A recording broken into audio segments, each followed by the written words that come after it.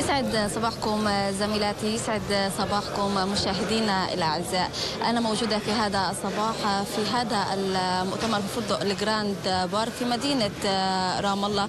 هذا المؤتمر بتنظيم من اتحاد مقدمي خدمات المياه في فلسطين. مؤتمر رابع سيعقد بخصوص المياه. سيتم التطرق من خلاله إلى كل شيء جديد ومبتكر في مجال المياه. للحديث أكثر عن هذا المؤتمر مشاهدينا. سعدنا نرحب بالمهندس أكرم نصاري. سعد صباحك. يسعد صباحك أختي. يعني في البداية نتعرف أكثر على هذا المؤتمر. أنت تعلمين أن اتحاد مقدمي خدمات المياه قد تم تأسيسه في عام 2007 وهذا الاتحاد ليس بجديد وأفكاره أفكاره ليست جديدة إنما هو كان على استمرار السنوات السابقة ونقل الخبرات الدولية إلى الخبرات المحلية وهو جزء من أجل الحفاظ على بيئة آمنة وخدمة مياه صحية صحيحة. المؤتمر الرابع يتعلق بموضوع المياه أبرز المحاور التي سيتم نقاشها في هذا المؤتمر. هنالك عدة جوانب في إما في التكنولوجيا الحديثة من نانو تكنولوجي أو الفاقد أو محطات معالجات الصرف الصحي وإعادة تدويرها واستخدامها لجعل بيئة نظيفة خضراء. وأيضا هنالك استخدام النظم الجغرافية أو نظام التحكم الآلي لسكادا. وهناك عدة مواضيع يمكن التطرق والتحدث فيها. يعني هنا نشاهد العديد من الحضور إن كانوا حضور محليين أو أجانب نتحدث أكثر عن الحضور في هذا المؤتمر. أنت تعلمين أن هناك مقدمين خدمة عددهم يصل إلى 300 مقدم خدمة إما أن يكون مصالح منفصلة مستقلة أو أن تكون هي مقدمة خدمات عبر البلديات التي تقوم بتزويد هذه الخدمة إما بالمياه وأيضا مياه وصرف صحي.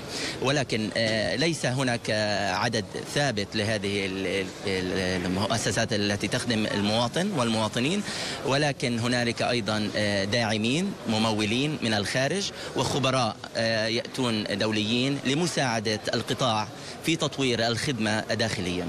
يعني هذا المؤتمر أيضا سيركز أكثر على التحديات التي تواجه قطاع المياه.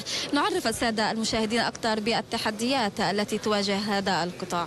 أولا إذا أخذت بشكل فردي كتحديات عدم وصول المياه بالكمية المطلوبة بالحصص المتفق عليها عبر الاتفاقيات الدولية كأوسلو أجريمنت أو عبر المنظمات الصحة العالمية. منظمة الصحة العالمية التي تحدد أن هناك يجب أن يكون كمية الاستهلاك للفرد هي 135 لتر في اليوم.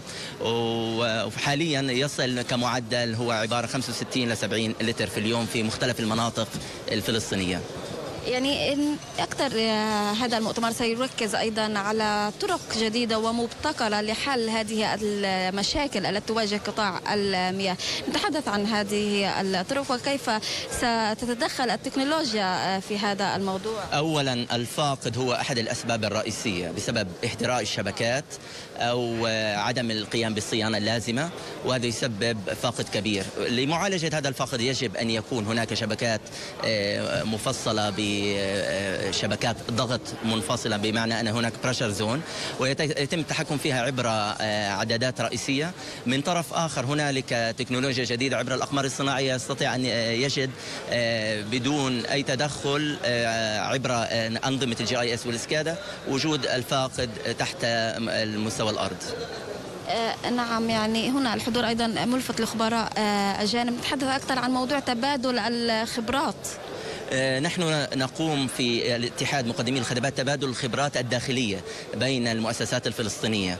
ولكن مثلا عندنا وجود سلطة مياه ومجاري بيت لحم لديها أيضا توأمات ومشاركات خارجية. تعتبر مهم أن يكون هنالك علاقات مشاركة water partnership بين المؤسسات المحلية والمؤسسات الدولية. قد مهم هاي العلاقات؟ تبادل الخبرات ونقل الكفاءات والتجارب أيضا هو جزء من القضايا. حتى المؤسسات الخارجية قد بدأت بمؤسسات ضعيفة جدا وبعد إدخال التكنولوجيا تحسن الوضع. نفس نفس ما نحن نعاني في هذه الفترة. أيضا يوجد على هامش هذا المؤتمر معرض نتحدث أكثر عن المعرض وماذا سيضم؟ نحن نشجع الموردين آه، الفلسطينيين. لذلك آه، ارتأينا أن يكون هناك معرض حتى يتم عرض هذه ال- آه، المواد والتكنولوجيا داخل هذه أرض المعارض الموجودة هون. ونتمنى أنه الجميع يستفيد ويتأكد أنه هاي التكنولوجيا وصلت لأفكارهم حتى يتم جعلها وتجنيدها في آه، تحسين الشبكات وتحسين الخدمة أيضا. يعني نتحدث أكثر عن موضوع التكنولوجيا وكيف يمكن أن تساهم هذه التكنولوجيا في حل المشاكل المياه الموجودة في فلسطين. كما ذكرت سابقا بأن النظام سكادا التحكم الآلي هو جزء من تحسين التوزيع العادل بين المواطنين والمشتركين. وأيضا عندما يكون لديك أنظمة جغرافية إلكترونية تكون مرصودة داخل الشبكات فيتم علاجها بطرق هندسية صحيحة وأيضا معالجة مياه العادمة التي تقلل من من موضوع إساءة للبيئة المحيطة وتجعل البيئة نظيفة خضراء. يجعل أيضا أن نستفيد من هذه المياه العادمة المعالجة في استخدامها لأمور أخرى كتدويرها وجعلها لها في المزروعات وريها وأيضا إلى فائدة أخرى كالسلج النواتج التي تخرج من العضلات يمكن الاستفادة منها لأمور أخرى كأسمدة.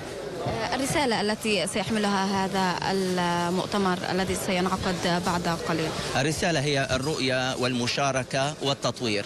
ولكن ندعو جميع المنتفعين وأيضا المؤسسات التي تقوم بخدمة المواطنين في فلسطين لأن تكون أحد أعضاء هذه هذا الاتحاد لأن هذا الاتحاد سيعطي مجال لكل المؤسسات حتى يوجد هناك برامج تدريبية لهم وتطويرهم بحسب التكنولوجيا الجديدة. نعم بنشكرك على وجودك معنا. المهندس أكرم نصار عضو في مجلس إدارة اتحاد مقدمي خدمات المياه الفلسطينية يسعد صباحك. شكرا لكم. يعني مشاهدينا رؤية ابتكار هذه هي رسالة هذا المؤتمر الذي سيعقد بعد قليل هنا في فندق الجراند بارك في مدينة رام الله. وسيتم بثه عبر قناة فلسطين مباشر. إلى هنا مشاهدينا أصل لنهاية هذه الفقرة. أعود إليكم زميلاتي. يسعد صباحك يا ميسة وشكرا جزيلا لك.